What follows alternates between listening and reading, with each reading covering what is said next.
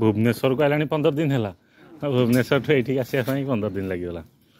number plate ହେଲା ନା number plate late ହେଇଗଲା ନମ୍ବର ହାଜର ଦଉଛନ୍ତି ଆମର ଟଙ୍କା ଟଙ୍କା ଦେଲେନି ଆଉ ଗୋଟେ ଦରକାର ଆଉ ହଁ ଆଗରେ ଗୋଟେ ଅଛି